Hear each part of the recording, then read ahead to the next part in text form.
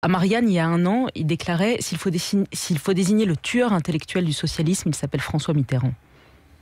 C'est sa responsabilité de le dire. Il est évident que François Mitterrand a un, parcours très très insolite aussi.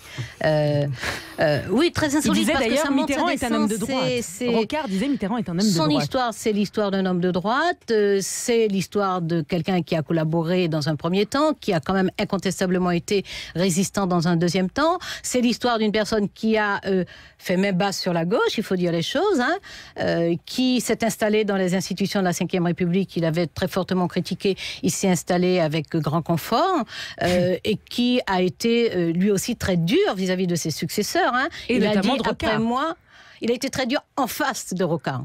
Bon, vis-à-vis de cette situation, il les a quand même traités de comptables. Il a dit après moi viendra le temps des gestionnaires et des comptables.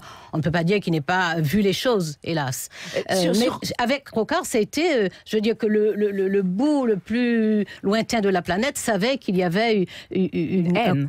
oui, oui, oui, une vraiment, haine entre, Rocard et Mitterrand. Et, justement, quand on sait qu'une des choses qui a tué Rocard, c'est peut-être la énième et la dernière manœuvre de Mitterrand, c'est quand il lui met dans les pattes, pardonnez-moi, une liste dissidente aux européennes de 94. Je vous vois sourire parce que vous êtes sur cette liste dissidente qui est emmené par tapis, euh, et qui va le tuer parce qu'il va faire le pire score de la gauche avec le Parti Socialiste, va faire 14%, et il pourra pas se présenter à la présidentielle après Rocard.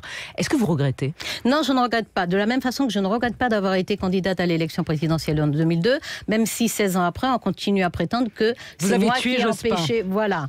Euh, alors, si le, le Parti Socialiste, à l'époque, en 94, puis en 2002, s'était posé et avait analysé la situation, pourquoi, pourquoi la désaffection des Français? Pourquoi les Français n'ont pas voté euh, pour le Parti socialiste?